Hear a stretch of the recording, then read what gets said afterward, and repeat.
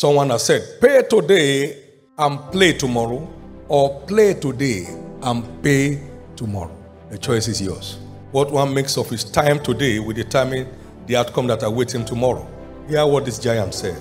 Benjamin Franklin said, Do you love life? Doth thou love life? Then don't squander time, invest it, for that is the stuff life is made up of. Shakespeare, that literally giant said, I wasted time, now time doth waste me. Our own Nnamdi Azikiwe said, Give me my youth back, and I will pay any price for it. That's how valuable this season is in your life. Settle down and explore the hidden treasures embedded on your inside, and you'll be glad you did. Therefore, endeavor to invest your time in your study to surely show tomorrow. In addition, invest your time in reading up materials that will help create the future you desire. The wider you read, the larger your capacity of creativity, insight, innovations. If you don't have time for good works, you will surely have time for evil works because nature abhors vacuum. Nature abhors vacuum. Come with me, let's go to somewhere. You say, where? Just let's go. And you still follow.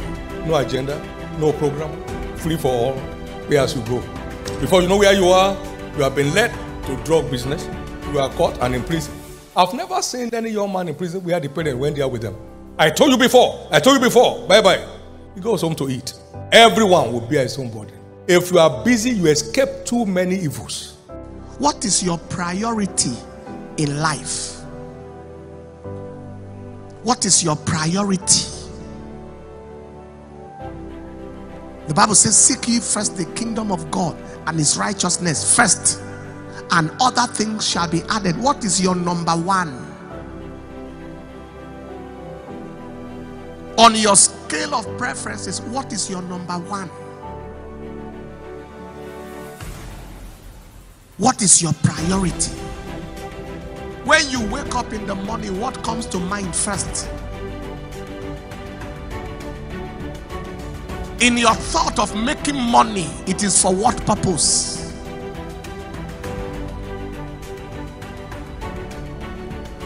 Is it just to become wealthy and then become have a lot of houses and things?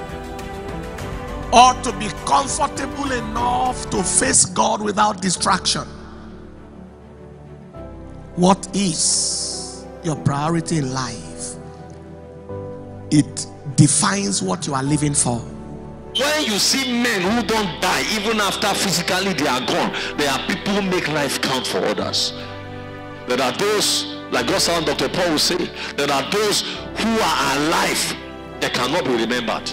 And there are those who are dead longest time but cannot be forgotten. Why are you alive and nobody remembers you? You are not consequential in the family. Rather, you are a problem causer. Make life count. In helping others find a way, you also find your way. You get committed in helping others to find their way, then you also find your way. That is number one. That is, you can't miss the road if you are assisting others to find the road to their own destiny. You can't. Number two, it means what you make happen for others will happen for you. One John Milton said, As the morning shows the day, so the child shows the man.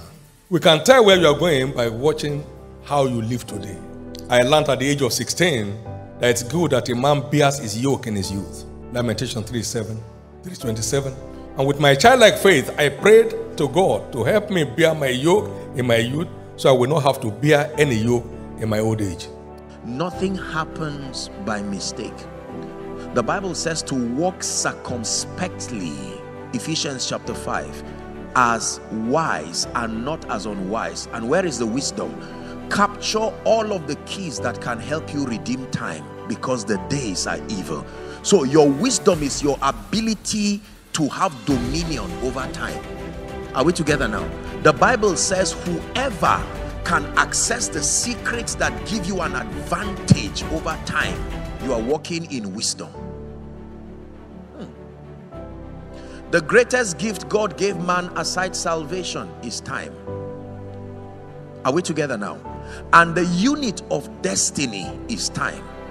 Whatever affects your time affects your destiny. Are we together? We're talking about time redemption here. The Bible says to walk circumspectly. The word circumspect means accurately.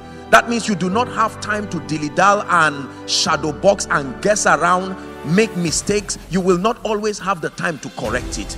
So, our walk in this earth requires a measure of accuracy. And it says, in doing that, you have dominion over time and you walk in wisdom when you master time. Ask a dying man what he would want, he would not tell you real estate.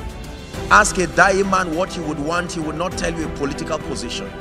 Ask a dying man what he would want, he will not tell you he wants more degrees and all of that, as important as they are.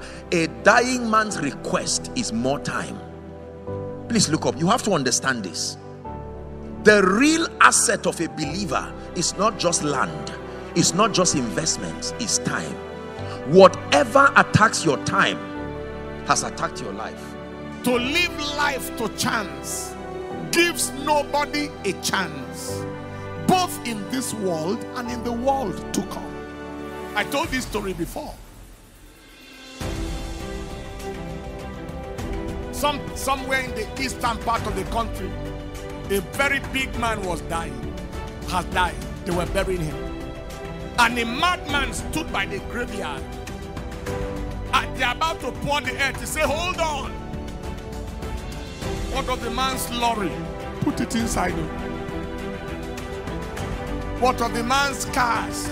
Take it along with him.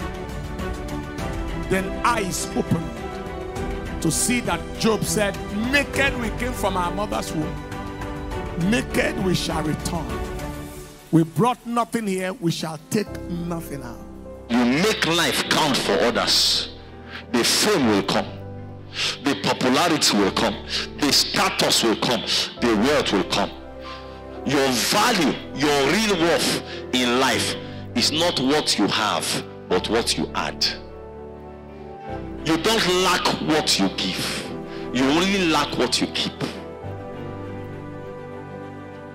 your real value in life is what you add. When you say how much worth is the man? What is the worth of the woman? What is she worth? Your worth is not what you have. It's not your car and your houses. Your worth is what you add. Time is very very important oh teach us to number our days he says. Not because we're afraid of dying. He says that we may apply our hearts to wisdom. So the bible says to walk circumspectly as wise and not as unwise redeeming the time. Why? The days are evil